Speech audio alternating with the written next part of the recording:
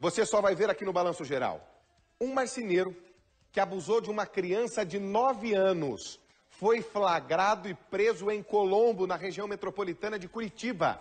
As câmeras de segurança da própria marcenaria registraram todo o abuso. Aquele que era um vizinho perfeito, na verdade não passava de um teatro para cometer tantos abusos. Põe no ar. Marceneiro Mauro Sérgio Moraes tinha uma relação de amizade com os vizinhos, mas no final de semana ele mostrou um lado que ninguém queria conhecer. Mauro emprestou o celular para algumas crianças. Elas encontraram fotos que mostram um abuso sexual contra uma menina de apenas 9 anos. A gente soube que ele mexia com pedofilia, né? Que andava aí mexendo com as crianças, né? E a gente soube assim do, do, do modo assim, mais, assim, vamos dizer, absurdo possível, né? Familiares da vítima procuraram a polícia e denunciaram o caso. O suspeito foi preso na manhã desta terça-feira por investigadores da delegacia do centro do município. A polícia conta com várias imagens que foram apreendidas no computador e no celular de Mauro. Em interrogatório à Polícia Civil, ele já teria confessado crime diante de tanta materialidade no inquérito policial.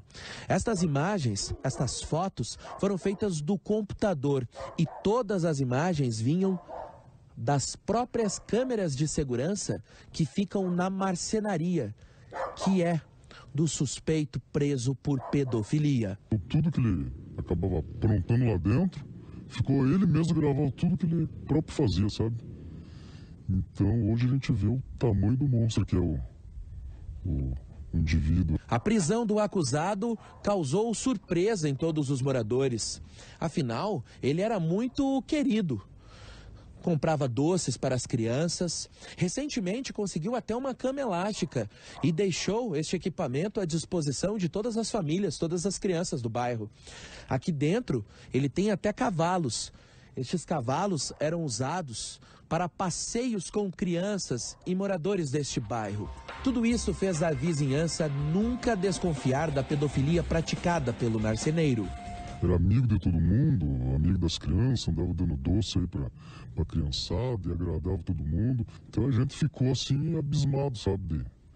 De, de, de, quando a gente soube que ele era envolvido com tanta porcaria, né? A descoberta foi feita em um dia que era para ser de festa entre os moradores. As crianças brincando, jogando, essa coisa toda. E através daí que acabou surgindo tudo. Os meninos viram, aí chegaram em casa e contaram para os pais. E esses pais acabaram entrando em contato com a gente, dizendo que, que tinham visto uma foto dele com uma criança e se procedia, né? E daí que acabou estourando tudo.